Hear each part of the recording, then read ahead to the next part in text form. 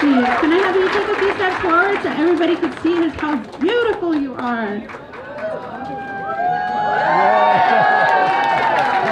Oh, I love it. I love it. How about if you turn this way and then show us your bow? There we go. So she is a female Apache warrior. Ruth is wearing a buckskin blouse over a cloth dress. She has a bow made out of cedar with arrows with turkey feathers. She also has Apache boots, and her outfit was made by her parents and her sisters. Beautiful. The buckskin dress over the cloth is age appropriate attire for a young girl. A full buckskin dress isn't worn until a girl's coming of age ceremony. Ruth is an archer, and her attire is honoring her Apache women ancestors who fought and defended their way of life. Beautiful. Can we have you do it? Can we have you turn around for us so we can see everything? Oh, wow. Absolutely beautiful. Here, take a few more steps forward and have everybody take another good look at you. Beautiful. Look at that smile. Isn't she beautiful? Oh, thank you, Ruth. This is contestant number one.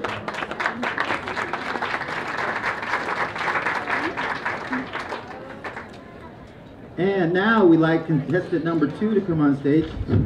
This is, ladies and gentlemen, Kyra Hendren. Put your hands together for her. Come up here, let them see your beautiful outfit. The name of her attire is Where the Waters Came Together. She's wearing a blue water comes together dress with weaving tools and a brown diamond twill manta. Turn, turn around, turn around. So beautiful. If you notice as well too, she's also turning. She's wearing a beautiful squash blossom necklace. She has a beautiful, beautiful belt. Look at these beautiful moccasins that she has on. And she's got another bracelet on. Turn around so they can show you one more time. There you go. Can you give them a really big smile?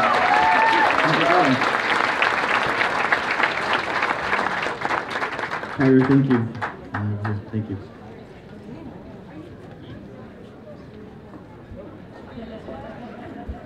All right, for contestant number three, we have Alithama Perkins, who is Eastern Band Cherokee. Beautiful.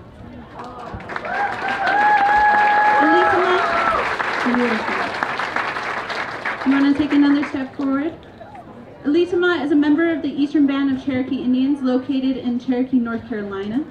Elitama is wearing 18th century historic Cherokee women's attire and regalia, which consists of a trade shirt made from cotton fabric printed with a blue and maroon um, vines design. This traditional 18th century print would have been created by using the block method and roller printing.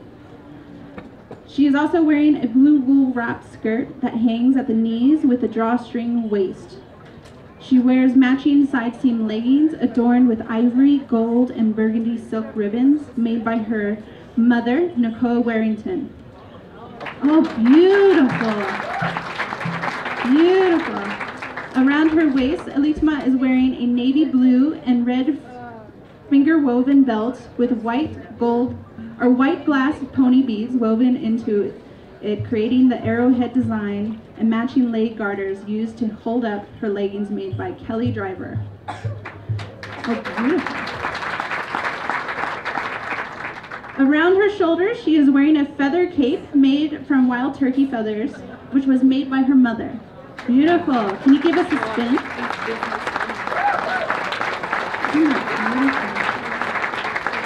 Across her right shoulder, she is wearing a red, blue, and blue bandolier bag trimmed with white glass beads, and it features the unbroken friendship design made by Karen George.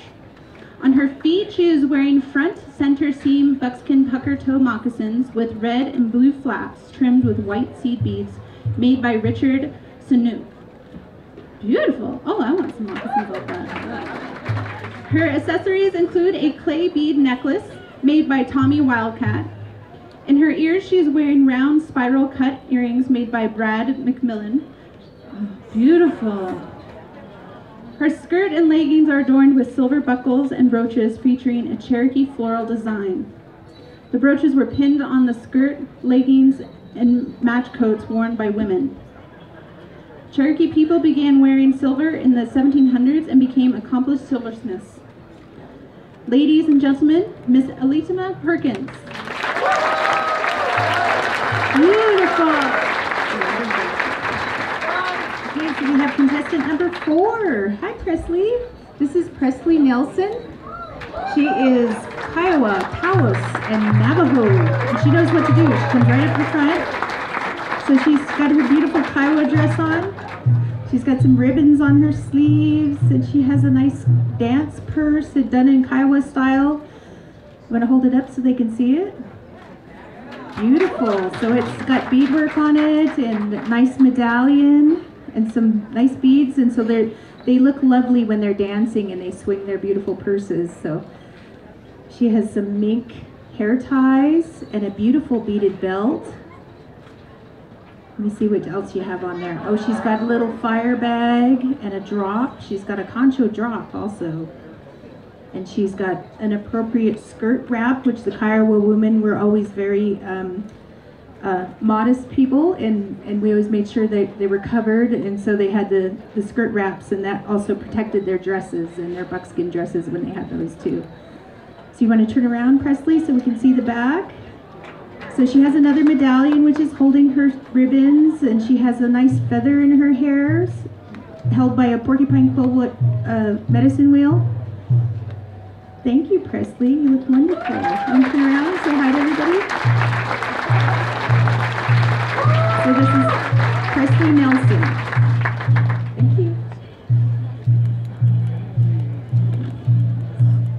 Next, we'd like to invite Kennedy Nelson to the stage. Come on up, Kennedy. Come on. I gotta see you. My goodness, you're beautiful. There you go. Show them your beautiful smile out here. There she is. Kennedy is Kiowa, and Navajo. And she has a red cloth dress on with beaded moccasins.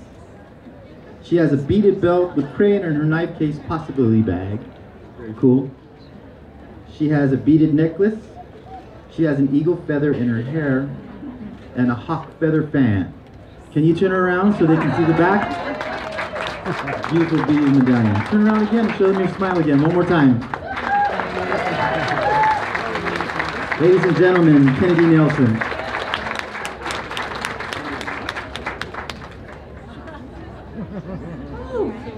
Okay, so number six. This is Peyton. This is my niece Peyton, Growing Thunder Fogarty. This is my brother's daughter. She's wearing a traditional Sioux style outfit, done in pink beadwork, and her cape is a little bit different than what we're usually wearing uh, dentalium capes, but this one has elk, bone elk's teeth on it and a lot of silver um, sequin work, and she has a bone breastplate. So um, some beaded necklaces and medallions, and you want to turn around? She has a traditional ribbon skirt dress on with wing sleeves. And um, usually our tribal style, when we make our ribbon dresses, you'll see them everywhere now, but um, ours were not color matching, so we didn't, uh, we just used whatever color you grabbed first. And so they weren't matchy-matchy, and that's, that's our tribal style from Fort Peck, Assiniboine Sioux tribes. So, um, yeah, and she has fully beaded moccasins and leggings and all the accessories. So thank you. Peyton, you?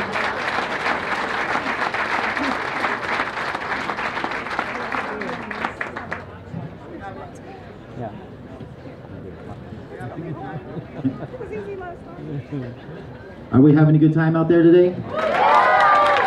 Are we having a good time? Give it up for the contestants so far, please. I'd like to invite to the stage Nanaba Joy Little. Oh, how cute, how cute you are. Oh my goodness.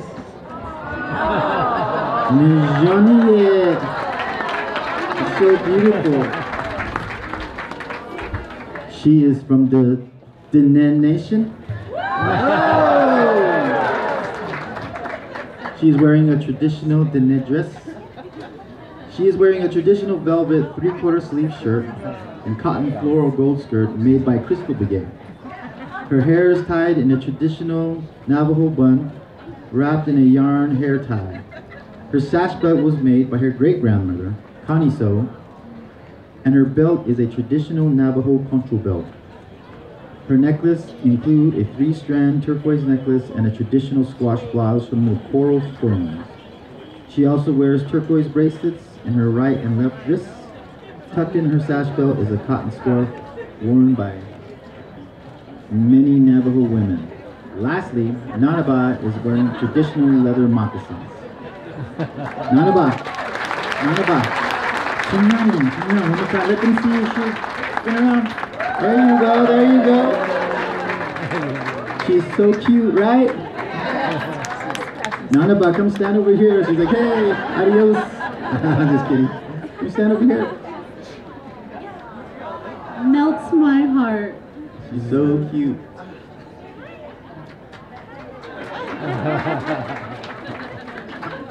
Ladies and gentlemen, Nanaba Joy Little. Give a round of applause. How many years has Nanaba do- been doing this now? This is her second year. So last year was her first year, and she got so tired she fell asleep. Up next, we have contestant number eight, Carmen Growing Thunder. Carmen, Carmen is my cousin, but in our kinship system, she is my little sister. She is a Assiniboine Sioux and Taos Pueblo. Today she is wearing a jingle dress. Um, so traditionally, uh, the jingle dress comes from the woodland areas, the Anishinaabe people. Um, there is traditionally 365 tin cones. These are actually snuff can lids um, rolled into a cone figure. And so traditionally, we're supposed to wear 365 of them on a dress to represent a prayer for each day of the year. And it makes a beautiful, beautiful sound. It almost sounds like rain. Um, can you give us a jingle so we can hear it?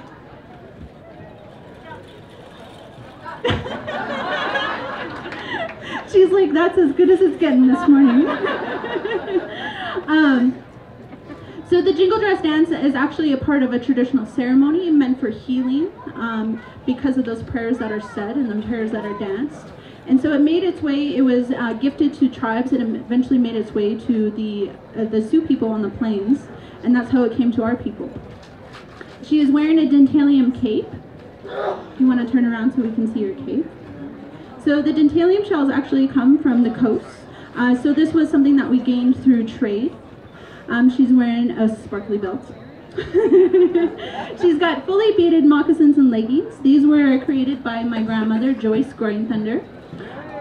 Yes, beautiful, fully beaded. Uh, these are traditional Assiniboine designs. She's got beautiful hair ties. She also has otter wraps to lengthen her braids. Uh, she's got a beautiful choker with a choker drop, beautiful earrings, a um, headband, and some plumes in her hair. And she's got some paints on her face because she is beautiful. you want to take a few steps forward and give them some smiles? Wonderful. Thank you, Carmen. I have two contestants next. These are sisters and the little one's scared, so she can come out with her sister. This is Maria Lopez and Kaiwa Wall. Maria is the older sister. Can you step up here close to the front? They're wearing beautiful rug dresses. And they have their traditional moccasins on. And they're you can really see that they protect their legs and stuff. So when they would be out walking her and stuff, they they'd be protected from snakes and what else, cactus, things like that. So she has a lot of um, beautiful jewelry on. She has a squash blossom necklace and some coral necklaces underneath that, and fancy, fancy concho belt, beautiful bracelets and jewelry and rings. And she told me she gets to carry this eagle feather, and that's special to her. So it was her most important thing she had to say to me when I was talking to her. Um, her little sister has a beautiful woven rug dresses, and I was asking her if these were in her family, and she said yes, they all get to use these rug dresses So they must be passed on down through different family members. So she has beautiful coral necklace, and she has a, a cute little concho belt with a heart on the her necklace and bracelets, and she also has her traditional moccasins on, and their woven belts. Do you girls want to turn around so we can see your hair? They have their hair tied in traditional Navajo buns. Here, you're so cute. Good job. So they're just as beautiful and from behind as they are in front. Thank you, girls. Beautiful, beautiful. Can I jump in and acknowledge how beautiful their beautiful. I wanted to jump in and acknowledge how beautiful their moccasins are. So how it was explained to me, and um, I, I'm married into Diné, um, so you have to excuse me if I get something wrong. I'm an in-law. um, but it was explained to me that when um, traditionally when you see them, their legs wrapped so thick with so much hide, it was a symbol of wealth. You know, to have that much um, hide, meant that they come from a wealthy family. So they got really thick wraps around their legs, and I just want to acknowledge that. That's beautiful to see. All right, thank you, girls. Can we give them a big smile one more time?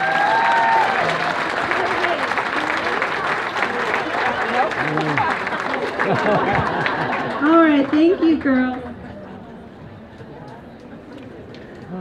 All right, can we have all the girls kind of squeeze up towards the front so everybody can get a look at you? And we have contestants one all the way through nine over here.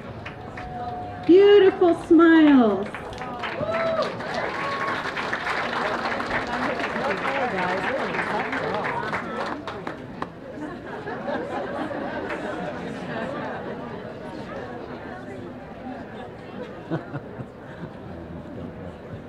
Okay, so the judges are looking them over again.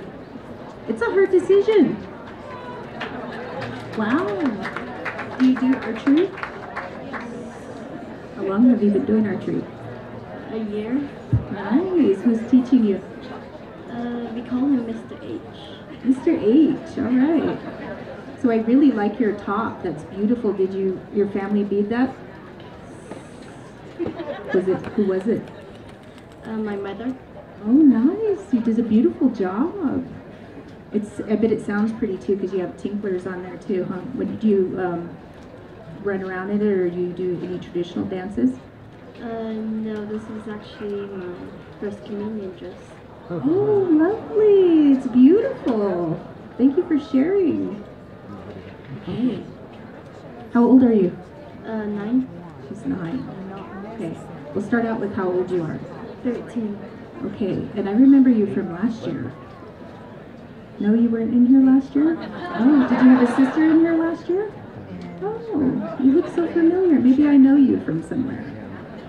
I really like your necklace. She has a really nice um, traditional old squash blossom necklace with silver beads. It's beautiful. So what grade are you going to be going into? Eight. Eighth grade. Wow. All right, just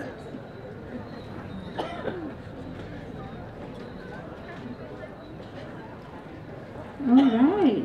So I'm over here talking to the sisters, and one is nine and the oh, other is three. So nine years old. What grade are you going into? No, I jumped the gun. I jumped. I'll just sit here. Third. I'm getting, I'm getting it all mixed up now. I'm totally not with you guys. All right, and so your little sister is three years old. Wow. So you're going into third grade. So what is your favorite subject in school? I have um, I have three and two. Reading. Oh, reading. Good, good. What's your favorite book? Okay. Indian books. Me too. Me too. I can I can go with. And Carmen over here is a softball player. But those, those were all, I don't know anything about sports, but tell us what you do with softball. But I can. Yeah, I pitch. I play everywhere, and um, it's a fun sport for me. As you get your body going and you get really strong. Her mom was telling me earlier that she's got one really muscular arm. There's not. and none of us How old are Oh, I you? just didn't know because Terry was Oh, I didn't know there was a third. No, non- there's not. There's just one. But that's, No. but that is probably different. She is two years old. Yeah. She's like, no, I'm okay. and Miss Peyton Ray, what grade are you going into? Seven. Seventh grade. And what's your favorite thing about school? Well, I just getting to see my friends. Oh, good, good. She's got a very soft-spoken voice. and what about you? How old are you? No? I'm on number two, I believe. I like your pink lipstick. She is four years old. What about you? How old are you? I'm six years old. She is six years old. Wow. And what about you, my dear? 13? 8? Are you going to be ready for high school? No. How long have you been coming to market? Um, this is actually my first year, but um, my dad over there is Dana, so he's been coming here for a while. Um, her dad is Dana Warrington, who has a booth right here. Everybody, let's give Dana a round of applause. Dana won a major award for diverse arts this year. Um, so fantastic pieces. If you get a chance, he is a porcupine quill worker. So get a chance, go see his booth.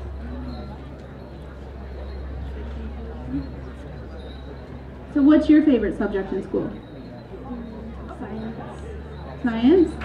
I love it. I love it. Oh, are we ready? Okay.